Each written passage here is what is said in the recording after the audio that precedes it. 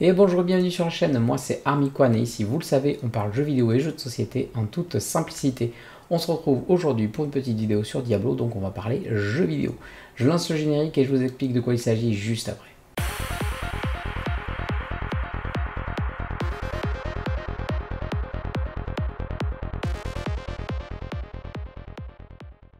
Comme d'habitude, si vous ne connaissez pas encore la chaîne, eh bien sachez que je fais plein de vidéos justement sur les jeux de société, sur les jeux vidéo, donc n'hésitez pas à vous abonner, comme ça vous ne louperez aucune vidéo. Et si vous préférez l'ambiance des lives, eh bien vous pouvez venir me voir directement sur Twitch euh, tous les matins pour la partie jeux vidéo et plus spécialement Diablo 4. On est sur le jeu depuis la sortie du jeu, hein, donc ça commence à faire quelques mois maintenant, donc n'hésitez pas à passer, c'est toujours un bon moment qu'on passe ensemble.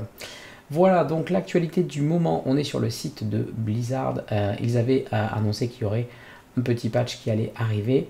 On a un petit peu plus de détails. On n'a pas un patch note complet, mais on a une note de mise à jour qui va amener quelque chose qui va sûrement plaire à certains. Mais en même temps, c'est du Blizzard. Il y a toujours une contrepartie aux bonnes nouvelles. Et euh, bah, cette, cette mise à jour ne fait pas exception à la règle.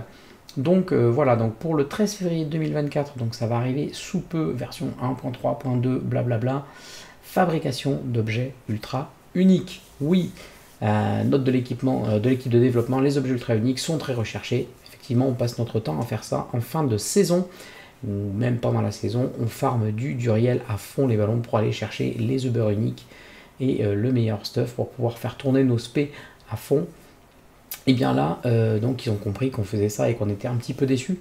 Donc ils nous disent, euh, voilà, lors de la saison du sang, nous avons rajouté une nouvelle source, les, euh, les Uber uniques, l'option d'affronter à répétition Uber de Riel, mais néanmoins nous voulons octroyer aux joueurs et joueuses une plus grande autonomie en ce qui a trait à l'obtention des objets ultra uniques, surtout celui qu'on veut.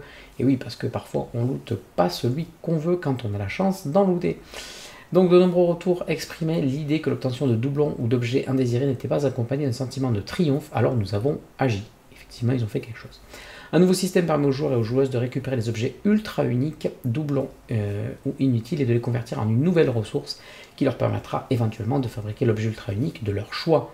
De plus, les chances d'obtenir les objets ultra uniques de sources autres que les combats avec du ont été augmentées. Ça, c'est une bonne chose. Donc, il n'y a pas que chez euh, Uber du réel qu'on pourra euh, choper les objets. Donc, les objets ultra uniques peuvent maintenant être récupérés afin d'obtenir une nouvelle ressource, les fameuses étincelles sublimées. Les joueurs et joueuses euh, pourront offrir 5 étincelles sublimées à l'alchimiste pour les transformer en un objet ultra unique de leur choix. L'onglet raffiner les ressources de l'alchimiste est maintenant appelé transformation et l'option permettant de fabriquer un objet ultra unique s'y trouve. Euh, veuillez noter que les affixes des objets ultra uniques ne seront pas affichés dans la fenêtre d'aperçu d'artisanat. Les chances d'obtenir des objets ultra uniques autrement qu'en affrontant Uber du réel ont été augmentées. Et après, on part sur des divers et des corrections de bugs. Donc c'est euh, la plus grosse feature de ce petit patch qui va arriver là. Euh, c'est une bonne nouvelle, mais il y a un gros mais. moi, quand j'ai lu la nouvelle la première fois, je me dis, oh, c'est trop bien, si on peut petit à petit crafter des Uber uniques au cours de la saison, ça pourrait être pas mal. Donc dans l'idée, c'est plutôt bien. Le seul problème, c'est que vous l'avez lu avec moi, il va falloir décraft, il va falloir euh, recycler de l'Uber unique. Et donc, du coup, euh, pour crafter un Uber unique, il faut looter de l'Uber unique, mais sauf qu'il y a des joueurs qui n'en lootent pas.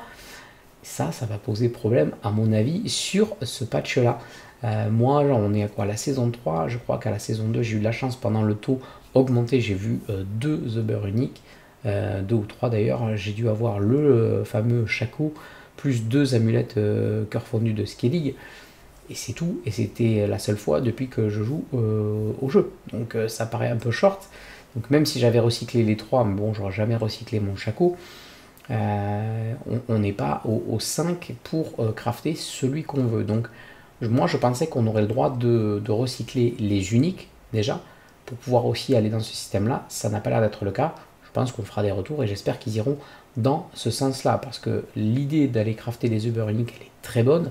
Maintenant, la limiter aux Uber uniques elle-même en recyclage, c'est déjà une limitation qui, à mon avis, est un petit peu trop euh, restrictive. Voilà, c'est tout pour moi sur cette vidéo. J'espère qu'elle vous a plu. Si c'est le cas, le petit pouce en l'air. On va continuer de faire un maximum de vidéos sur euh, Diablo. On est en live euh, tous les matins sur, sur le jeu, donc n'hésitez pas à venir à rejoindre la communauté, le Discord, tout ça. Tout est en description de la vidéo. Voilà, on se retrouve rapidement dans une prochaine vidéo et surtout d'ici là, comme d'habitude, amusez-vous.